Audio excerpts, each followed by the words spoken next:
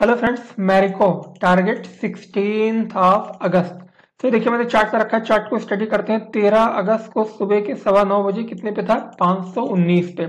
High बनाया इसने। देखिए 522 का फिर जो है नीचे, लुढ़क के नीचे की तरफ़ आ गया। नीचे बनाया 514 वहीं पे क्लोज हुआ है 514 पे।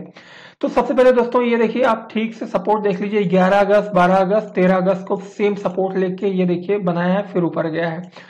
तो ये 514 से पंद्रह रुपए का एक अच्छा खासा सपोर्ट है और ये तोड़ना नहीं चाहिए राइट तो ये सपोर्ट की तरह काम कर। ऊपर की तरफ़ देखिए रेंज पाँच सौ इक्कीस रुपए, पाँच सौ इक्कीस यही फ़र्स्ट टारगेट होगा पाँच सौ इक्कीस रुपए तोड़ते ही सीधा फिर ये आपको पाँच सौ सत्ताईस, पाँच सौ बत्तीस और जो है पाँच सौ सैंतीस रुपए तक जा सकता है। जो चार्ट पे विजिबिलिटी है वो मैं आपको बता रहा हूँ सपोर्ट टारगेट तो दोस्तों, ये लेवल्स आप ध्यान रखिएगा।